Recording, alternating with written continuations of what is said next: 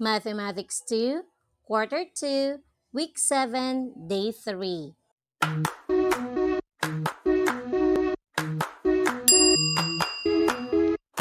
Hello, welcome to my YouTube channel. This is Chal. Please share, like, and subscribe. Thank you. Mathematics 2, Quarter 2, Week 7, Day 3. Learning competencies. The learners solve problems involving subtraction where both numbers are less than 100 with and without regrouping. Subtract numbers where both numbers are less than 1000 with and without regrouping and solve one and two step problems involving subtraction where both numbers are less than 1000 with and without regrouping. Learning objectives. At the end of the lesson, the learner should be able to solve one-step problems involving subtraction where both numbers, including money, are less than 1,000 with or without regrouping.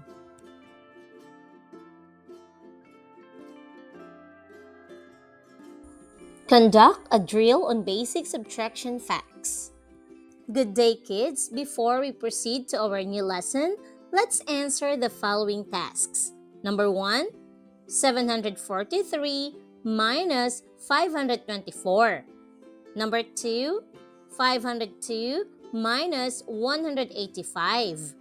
3, 314 minus 89.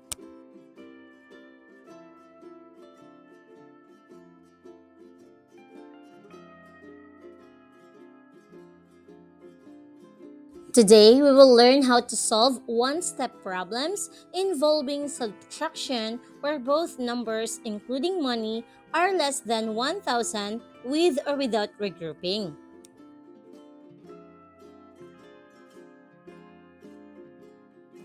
Let's read the following words that we will be learning in this lesson. Height Tallest Shortest Subtraction difference, left, subtract, farthest, nearest, change.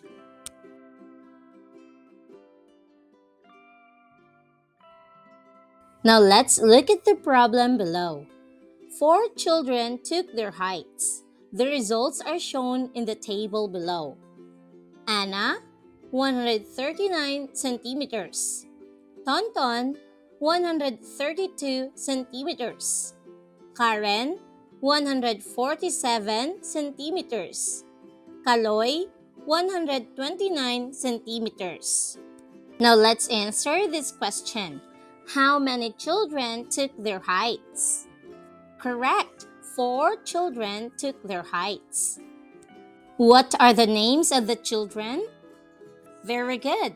The children are Anna, Tonton, Karen, and Kaloy. Who is the tallest among the children? Great job! The tallest among the children is Karen, which is 147 centimeters. What is the height of Karen? Very good. The height of Karen is 147 centimeters. Who is the shortest among the children? Great! Kaloy is the shortest among the children. What is the height of Kaloy? The height of Kaloy is 129 centimeters. What is the difference between the height of Karen and the height of Kaloy? The answer is the difference in the heights of Karen and Kaloy is 18 centimeters. As you can see, 147 minus 129 equals 18. What is the difference between the height of the two boys? The difference between the heights of the two boys is 3 centimeters. 132 minus 129 equals 3. What is the difference between the heights of the two girls? The answer the difference between the heights of the two girls is 8 centimeters. 147 minus 139 equals 8. How was subtraction used in the problem? Subtraction was used to compare and find the difference between the heights of the children. Now, kids, let's read the problem below. Mother had 500 pesos.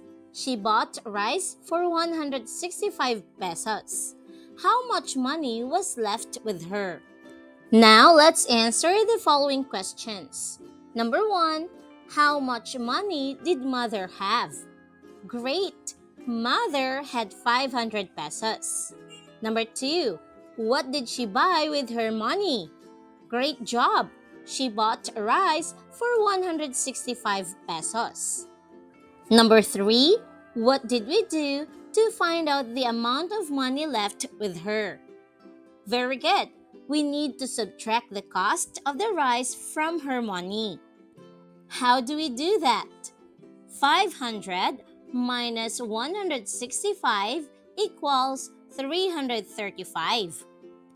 Number 5. How much money was left with mother? 335 pesos was left with the mother. How was subtraction used in the problem?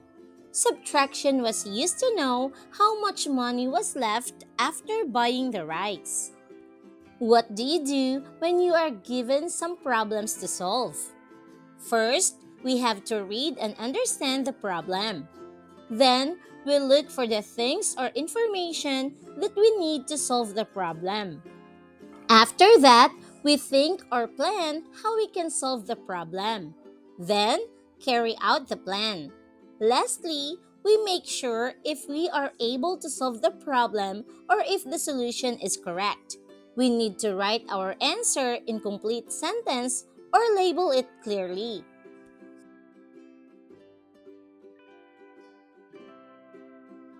This time, let's solve the following problems.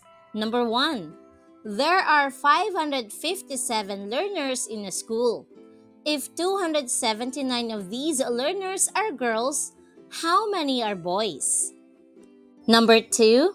Anna received a change of 125 pesos for buying a pair of shoes. What is the price of her shoes if her money was 500 pesos? Number 3. Study the table below. Then answer the questions that follow. Name May Distance of house to school 750 meters. Lara 975 meters. Noel, 795 meters.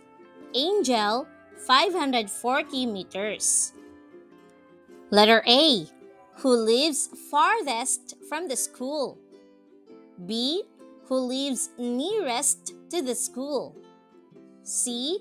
How much farther is May's house than Angel's house from the school?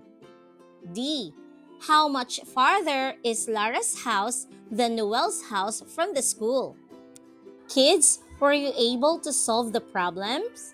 For number one, the answer is 278 learners are boys. So how did we do that?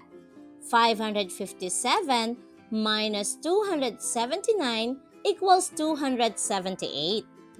For number two, the price of the pair of shoes is 375 pesos. So 500 pesos minus 125 equals 375.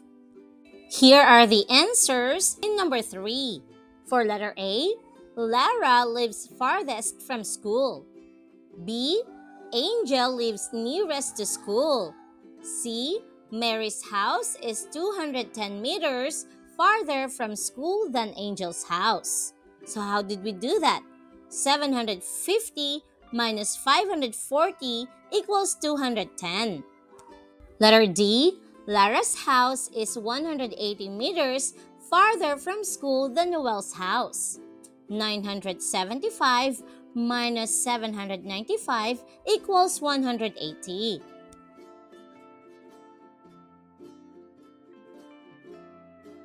How do you solve a worded problem in math?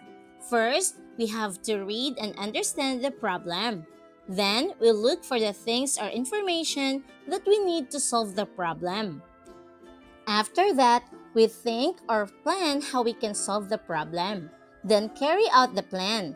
Lastly, we make sure if we are able to solve the problem or if the solution is correct.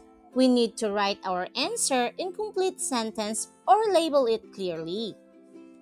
What are the situations that make use of subtraction? We use subtraction in situations where we need to compare numbers or quantities, determine how many are left after something is taken away, or find out how many were removed.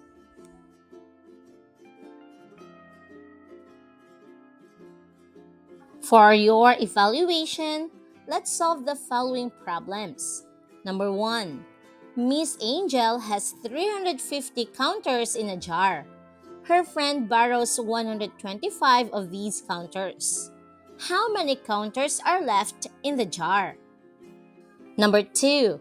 Brian has 300 pesos. He bought a toy that costs 165 pesos. How much money does he have left? Number 3. There are 257 girls and 379 boys in the school. How many more boys than girls are there in the school? And that's all for today. I hope you learned something. Do not forget to share, like, and subscribe. Thank you. Bye.